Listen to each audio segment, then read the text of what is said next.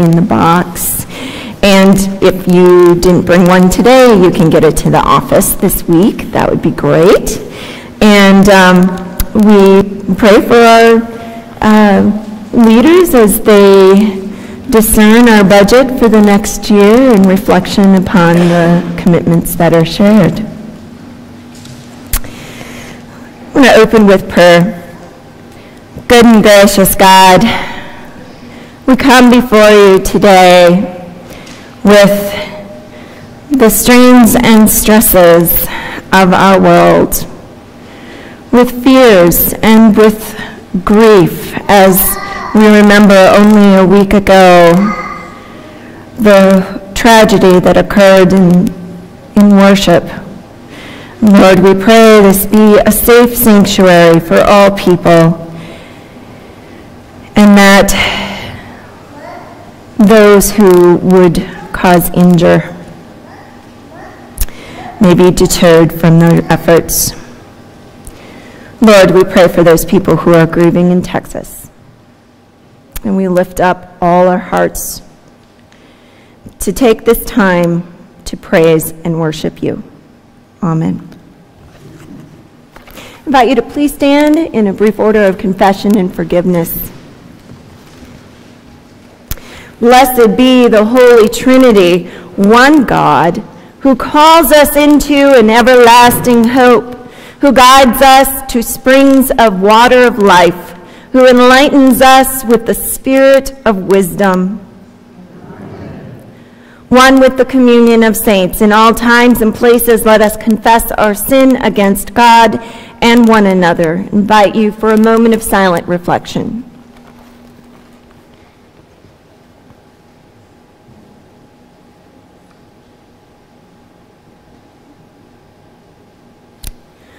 O God, our merciful Redeemer, we confess the ways we live only for ourselves. We fail to see you in our neighbor's face. We turn our ears from the voices that cry out. We pass by the hungry and the oppressed. In your great mercy, forgive our sin and strengthen us for service to all in need. Through Jesus Christ our Lord. Amen. In the mercy of Almighty God, Jesus Christ was given to die for you. And for his sake, God forgives you all your sin. Blessed are you. Rejoice and be glad, beloved people of God. Amen. The peace of Christ be with you always. Please share this peace with one another.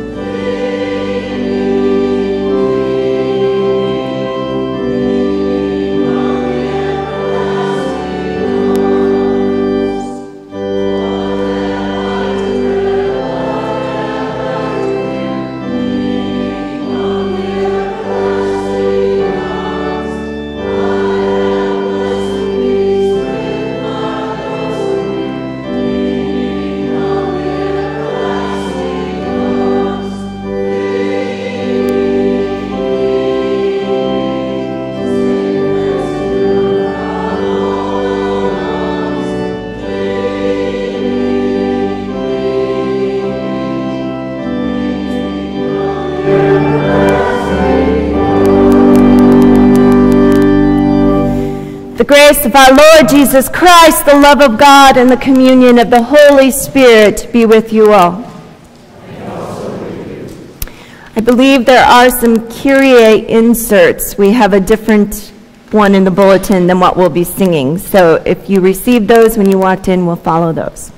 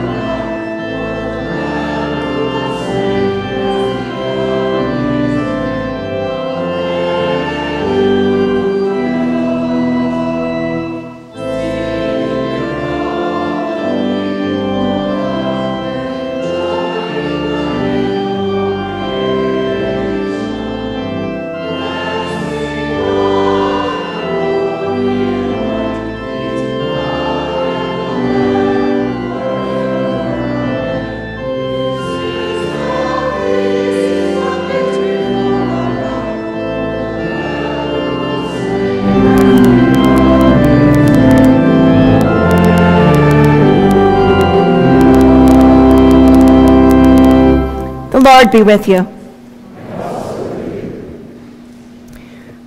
O God of justice and love, you illumine our way through life with the words of your Son. Give us the light we need and awaken us to the needs of others.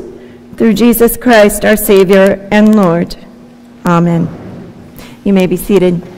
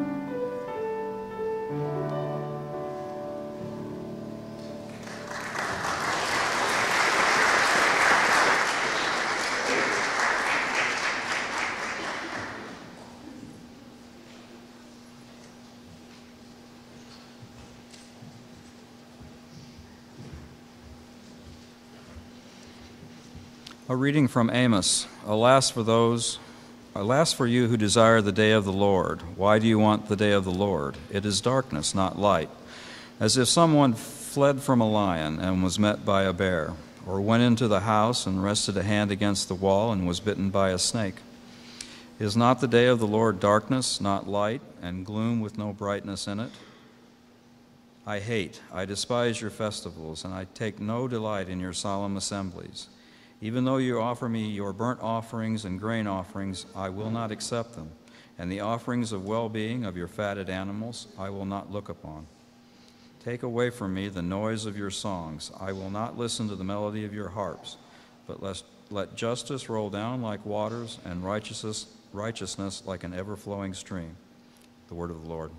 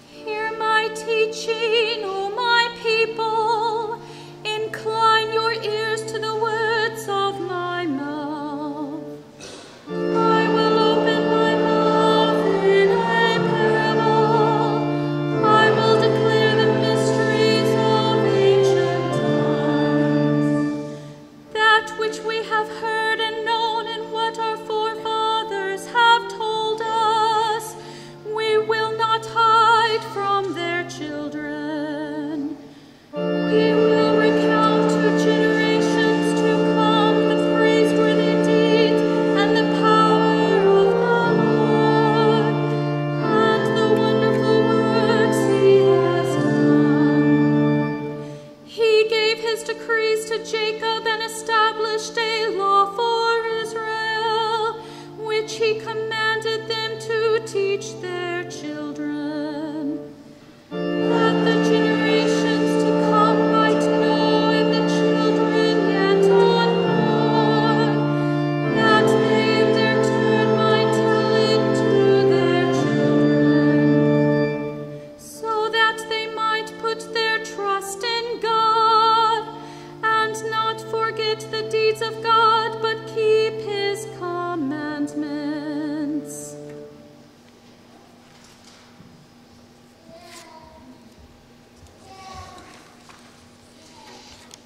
from 1 Thessalonians.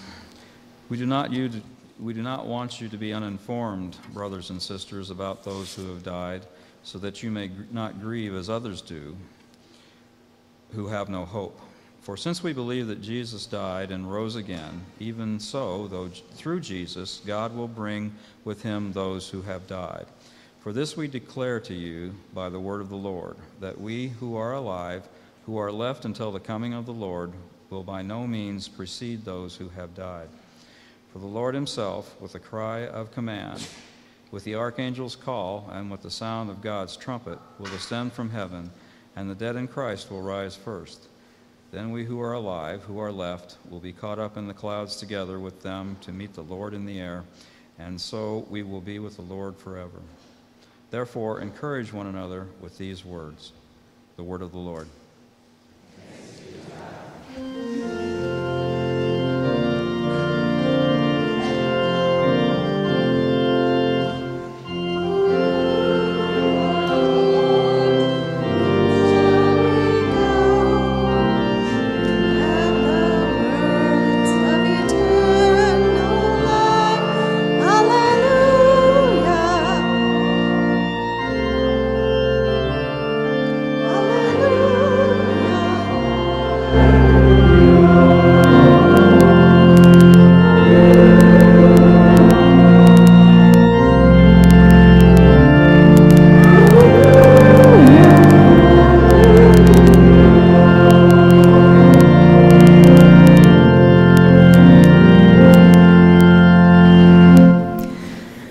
Gospel according to Matthew, the 25th chapter.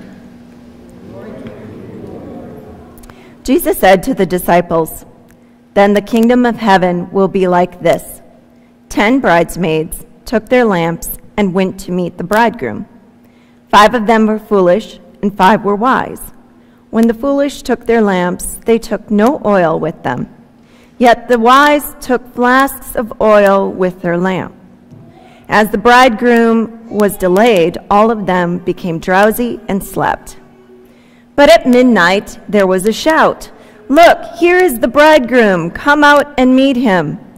Then all those bridesmaids got up and trimmed their lamps. The foolish said to the wise, Give us some of your oil, for our lamps are going out. But the wise replied, No, there will, be, there will not be enough for us, for you and for us. You had better go to the dealers and buy some for yourselves. And while they went to buy it, the bridegroom came, and those who were ready went with him into the wedding banquet, and the door was shut. Later, the other bridesmaids came also, saying, Lord, Lord, open to us. But he replied, Truly I tell you, I do not know you. Keep awake, therefore, for you know neither the day nor the hour. The Gospel of the Lord. You may be seated, and I invite the kids to come forward for a kid's message.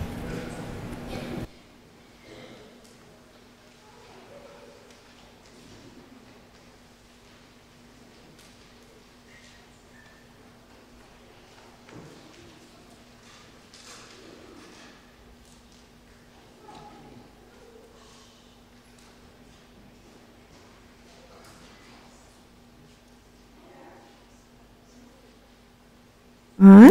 There we go. So what is I? What do I have here? Flashlight. What What are they good for? Yeah, they they. I can make them go in the dark. Except this one's not working. You know why? Yeah. Gotta have two batteries. Yeah. So if I put this other one in here, then it should work for me. I can get it back on. Whoop, there we go. It's on. There we go. It's working. Yeah. Well, today's story from the gospel is about a group of 10 people who are waiting. Their bridesmaids are waiting for the bridegroom to come. So they're waiting for this uh, wedding party to come see them. Yeah. Yeah?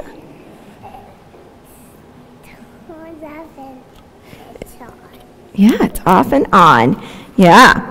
Well, okay. So they are waiting for the bridegroom, and some of and they all fall asleep, and some of them have oil in their lamps. So the oil's like the batteries, and that's because they didn't have bat- they didn't have flashlights back then in our story. So they have oil in their lamps, and some of them took enough for the whole night, full batteries, and some of them only took like half the battery and so they didn't have any light.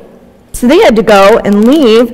And while they left, this parade of light, all these people with their lamps, like the flashlights, kind of glowing, and there's like this big long parade of light. They come, meet the bridesmaids, and they go off to have a party. And when the ones that forgot to bring enough batteries come back, enough oil in their lamp, they miss the party. And one of the things you can take from that story is sometimes we try really hard to do everything our own, be our own batteries, and to let our light shine in the world. But you know what? Um, we can use some help, and God can help us out with when we don't feel so bright and happy to help us feel a little brighter and happier. We don't always have to do it by ourselves. We can pray to God for some help and keep our light shining. All right? You had question, you had question. What were your questions? No?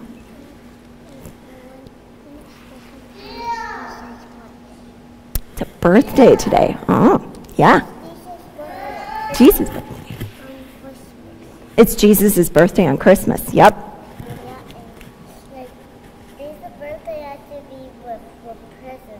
And lots of presents. Yep.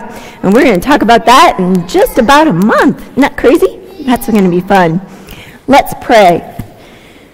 Dear God, Dear God, help us let our light shine. And so we can join others and bring light to our world. Amen. Thanks for coming up. Yeah. You go see.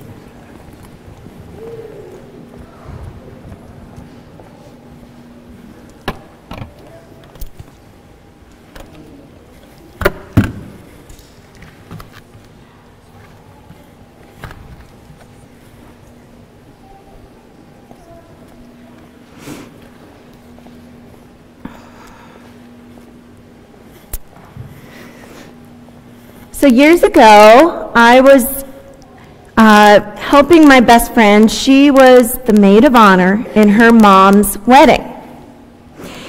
And on the day of the wedding, we got this early morning phone call from the bride telling us that none of the groomsmen had their shirts for the wedding.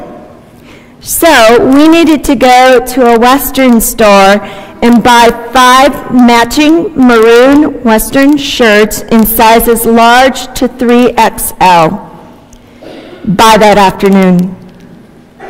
Furthermore, Grandma had slipped and fell on the freshly waxed floors at the grocery stores last night, so she was not going to be able to finish my friend's dress for the wedding. So my friend would also have to shop for a Western shirt to wear with her jeans at the wedding. Well, thankfully, Billings, Montana has an overabundance of Western stores, and so we were able, by 4 o'clock that afternoon, to have all the shirts bought, picked up the food, supplies, piled into my little Nissan Sentra, drove the one hour to the campground, the wedding, where the wedding was to take place. The judge was there, the musicians were playing, the groomsmen were dressed, the bridesmaids were waiting, and it was time for the wedding, but there was no bride. Minutes went by, and then a half hour, and then it was an hour. And this was kind of before everyone was carrying a cell phone, not everyone had one, so we couldn't get a hold of the bride. And so we just had to trust that she would come. The judge became impatient, and we begged her to hang in there. Just, just another half hour, just, just five more minutes. You can do this. Just a little longer, believing the bride would come. And yes, an hour and a half later, the bride did show up, drove up calm and completely in control. The wedding went on immediately, and I mean immediately. She was there, we're getting married. We gathered in a circle around the wedding party. They exchanged vows. They were legally declared wed by the state of Montana, and feasting and celebrating began with no questions asked. And whenever I hear the parable of the ten bridesmaids waiting for the bridegroom, I wonder where's the bride? I think about that hot August day in Montana when we waited for the bride to arrive. No one fell asleep that day, although I do believe our native flute player who had just won a Grammy Award probably played most of his catalog that afternoon. I wonder who are the people in this parable for us, the listeners? Are we the bridegroom? Are we the bridesmaids? Are we the oil in the lamps? Are we the absent bride? Why are five foolish and five wise?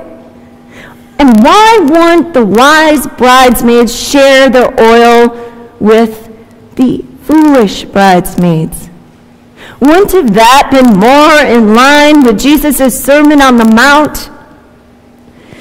This sermon in which we are to stand up for and help those who are abused and foolish and lost and hopeless by being God's service in hand. And why do they all fall asleep? Yet, by packing or not packing enough oil, they are called foolish or wise. They all fell asleep. Aren't they all foolish? And why is the door shut? To the five who were too little too late and told, I don't know you. And the door slammed shut. What about the message from Matthew 6?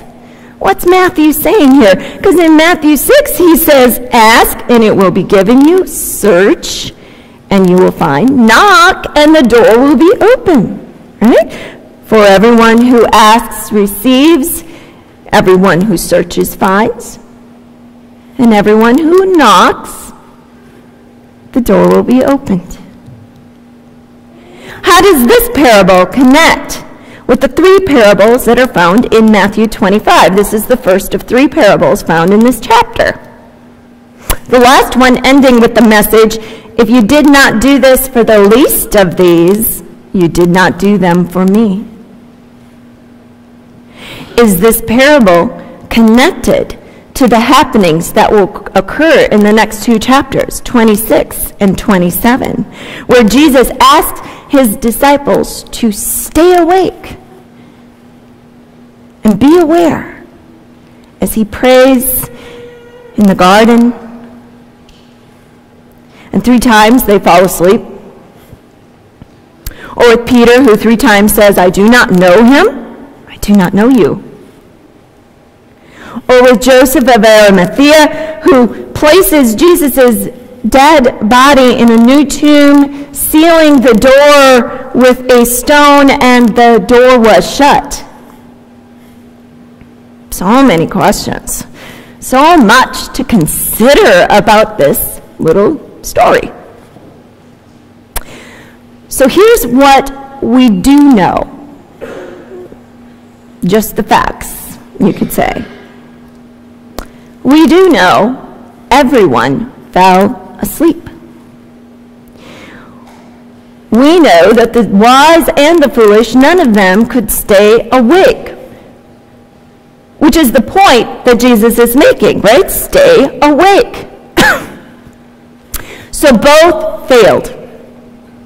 Just as the disciples will fall asleep as Jesus is praying in chapter 26, and he tells them to stay awake. Maybe the foolishness of the bridesmaids is that they left. They left to find more oil. What would have happened if they had stayed? What if they had waited for the presence of the bridegrooms, trusting in the bridegroom's mercy and grace to be upon them as they were waiting at the door to the banquet. Even if they had no oil to feed their lamps, no visible faith to burn,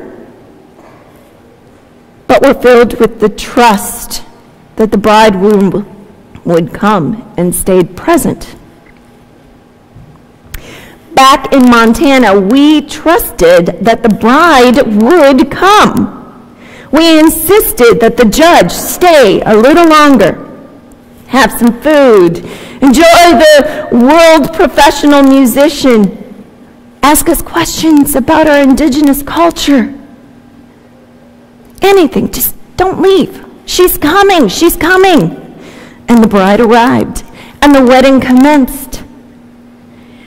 What if the bridesmaids trusted that the bridegroom would embrace all, regardless of whether they walked in the light or walked in the darkness? As the psalmist sings about God, night and day are the same, and the night is as bright as the noonday sun. In fact, if you read the story, it's the wise bridesmaids who tell the foolish bridesmaids to go get some oil. And I think that is a very sneaky move. It reminds me of Mean Girls. mean girls who send the loser girls off on some errand so they miss the prom, and then they either aren't allowed in, or worse yet, they get egged at the door. In a straight up reading, the kingdom of God looks a lot like everyday life. We've been the foolish whose lamps of faith have run dry. We've been the wise who feared sharing what we had and loved it too much to give away. We've been the bridegroom who refused to let people in.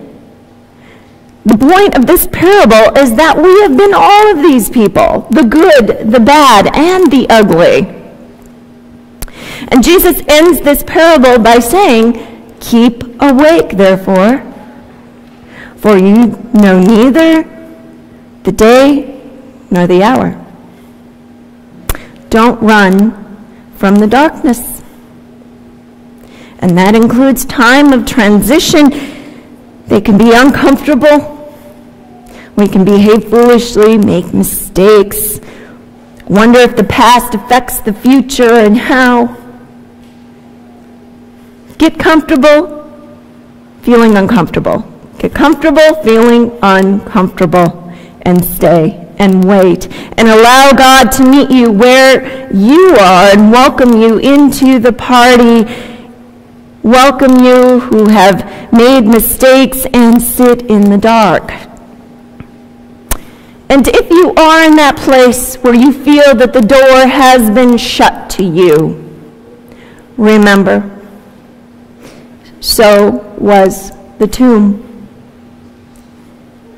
Easter changed things. Easter changes us. So let us be prepared for God's coming at all times, in all places, and with all people. Amen.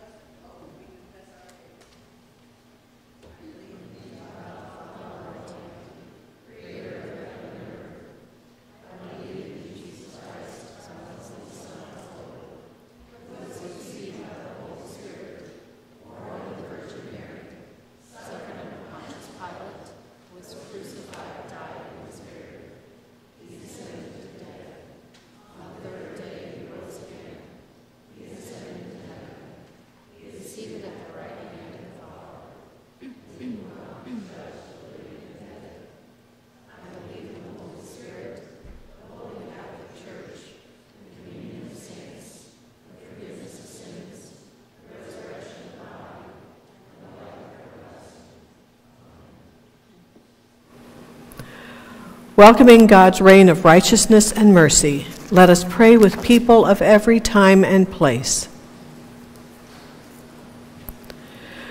Awaken your church to be ready to respond when Christ meets us in the cries of those in need. We lift up the church's mission of care through World, Lutheran World Relief and other agencies. Lord, in your mercy. We give thanks for natural resources like oil, coal, trees, sun, water, and wind. Help us to use them wisely. Lord, in your mercy. Answer the cries of your people in nations caught in war and destruction. Hold in your care all veterans and their families. Ease the burden of tough memories and bring restoration and wholeness. Lord, in your mercy. Shine your merciful and healing light on the despairing places of our minds and souls. Bring hope in the midst of danger, depression, and illness. We especially pray for Bonnabelle Luter, Don Kendall, Becky Smith, Lael Biella, Wayne Biggs, and John Van, Van Bibber. Lord, in your mercy. Bless those who prepare for marriage or who have been married in this place. Strengthen all bonds of friendship and relationship in our community. Give us joy in life together. Lord, in your mercy. Keep us alert for Christ's coming, sustained by the promise that we will be reunited with all the faithful who have died. Thank you for their lives of witness. Lord, in your mercy. Receive these prayers and the hopes and concerns of our hearts, O God, as we entrust into your loving care all for whom we pray, through Jesus Christ our Lord.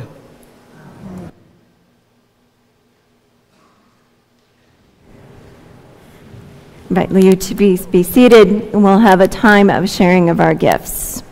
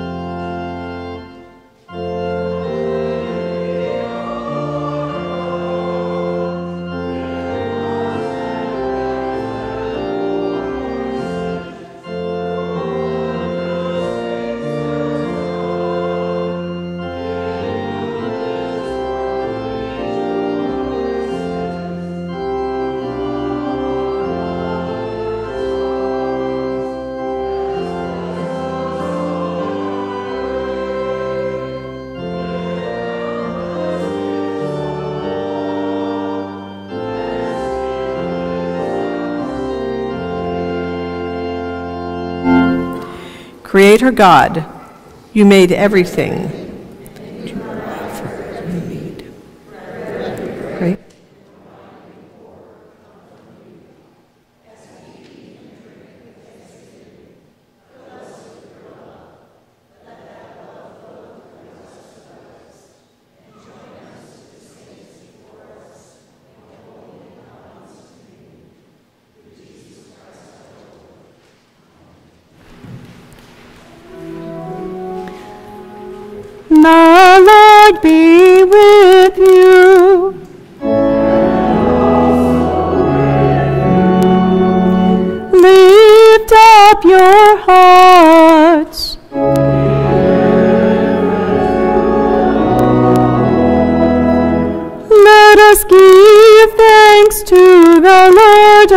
God.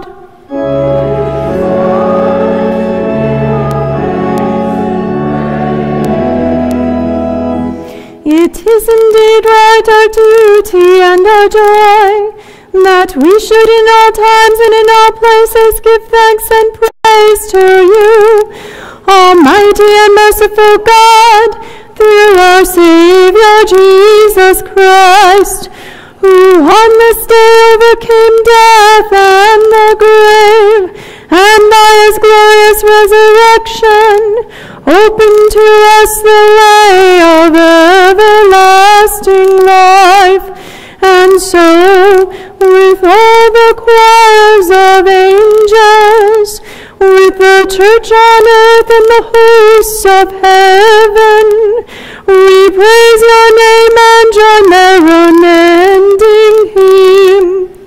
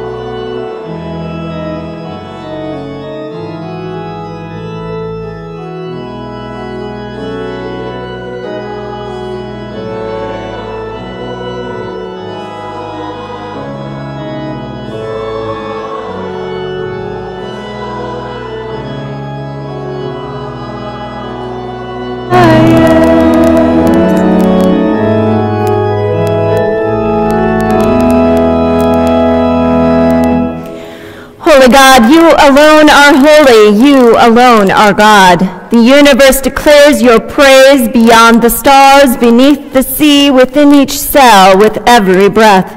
Generations bless your faithfulness through the water by night and day, across the wilderness, out of exile, into the future. We give you thanks for your dear Son at the heart of human life, near to those who suffer, beside the sinner, among the poor, with us now.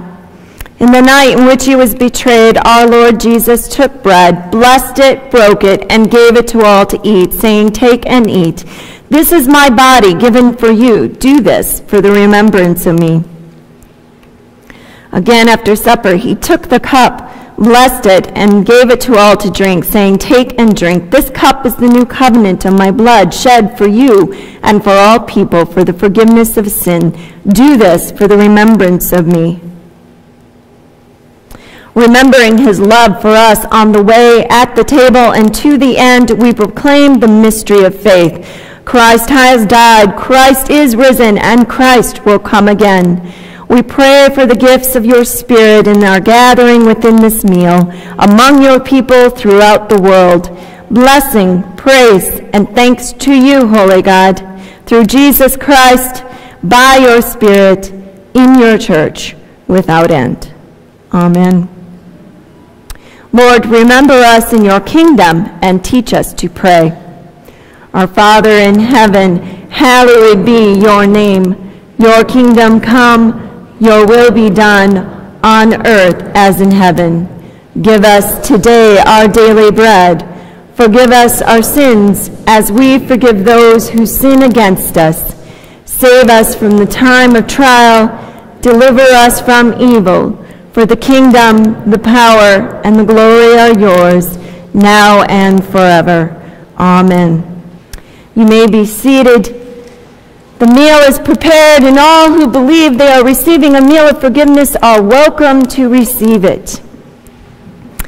You will commune by intinction today, so you'll receive the bread, and then you may dip it in either the dark liquid, which is wine, or the light liquid, which is grape juice. So hang on to your bread when you receive it, and then dip.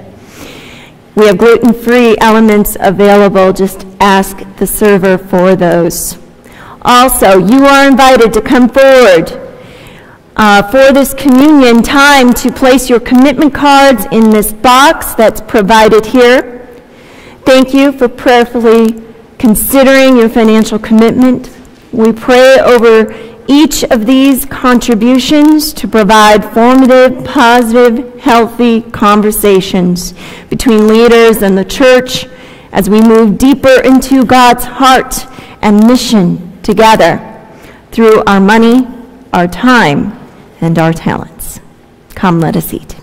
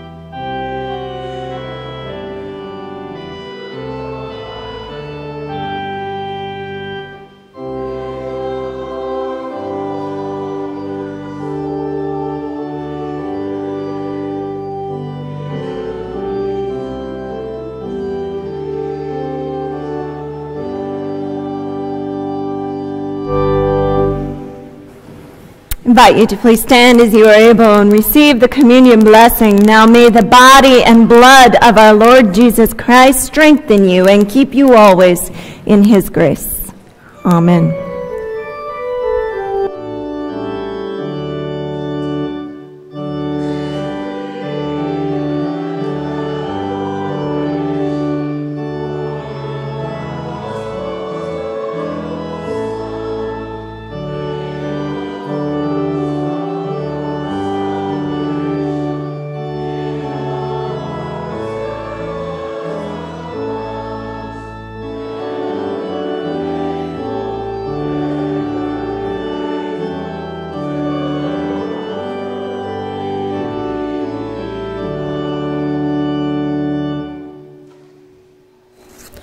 Sovereign God, in this meal you give us a foretaste of the great feast to come.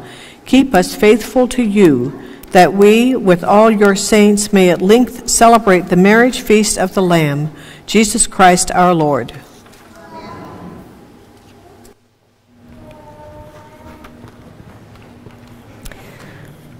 We dedicate our gifts to you, O God.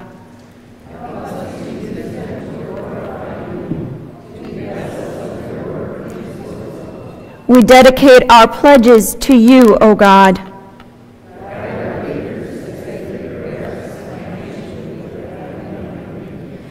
Use us, O God, to do your work in this world.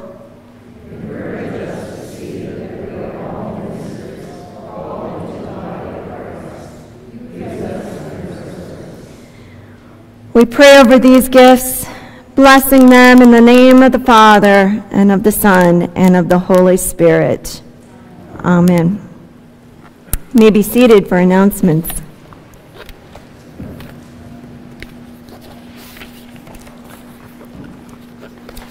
Now turn your attention to the messenger, which uh, you would have received in your bulletin.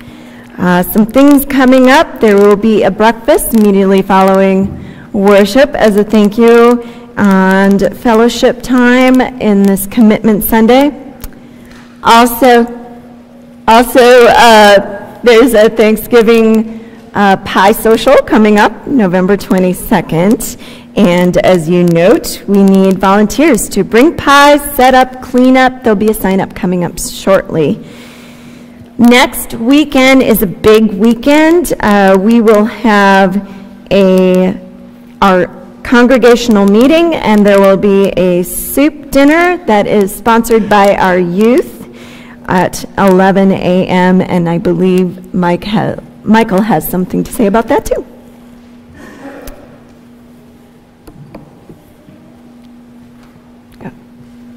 Hi, um, we, we have a lot of creative people in this congregation, and they have bl- blessed us with some gifts that they've made for the Christmas season, and so there will also be some tables back here to celebrate Christmas a little early. You can go shopping. I'm telling you this so you can prepare ahead and get, get your money ready and come and buy them. All the money will go to the youth that are going to the youth gathering next year. So come and celebrate both the youth and the creative people in this family we call Messiah Lutheran Church. Thank you. Sure, do you want to? Um, Also, we are having our congregational meeting following the late service next week. Want everybody to stick around for that. It's an exciting time this year. There have been years when we just hope we have enough folks to fill a slate. Uh, We have four three-year openings this year. We have 10 people on this, on the ballot. That is amazing. I think that is just fantastic. So you've got to show up and vote. Um, But in order to be informed voters, uh, we are going to be having a meet and greet for, uh, between services next week so that not everybody knows everybody. So please uh, stick around, and the council doesn't know it, but they're bringing treats uh, for that. So anyway, thanks very much.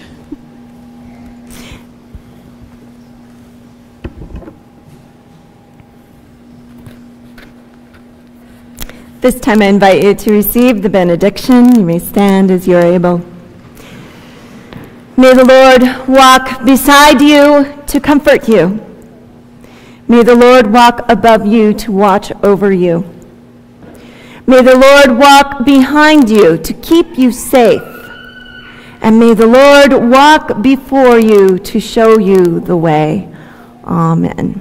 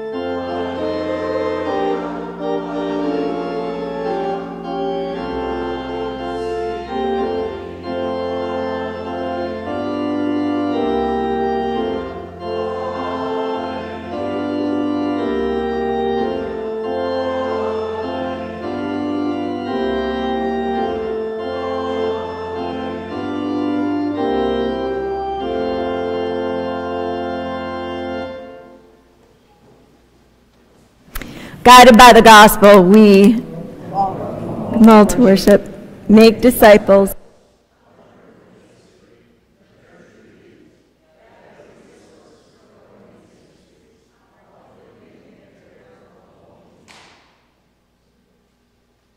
Go in peace, serve the Lord.